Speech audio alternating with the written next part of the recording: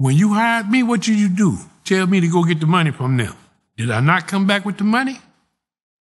Yes, so you got to understand, we need more money. Now, either gonna give it to us or we're gonna go our way and start our own shit. You talking about, you ain't gonna do nothing, I'll beat y'all ass. That's one. So, what the fuck you mean one? I said, that's one. You don't threaten me and keep on thinking that I'm gonna sit here and take it. He said, I'll beat both y'all. Friend James said, that's two. He talking about what gonna happen when you get to whatever number. You find out.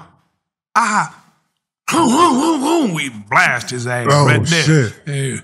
If we got to say three, we ain't gonna say it. You'll never hear it. Shit. Took that motherfucker out back and buried him in his backyard, went back in, took all his shit.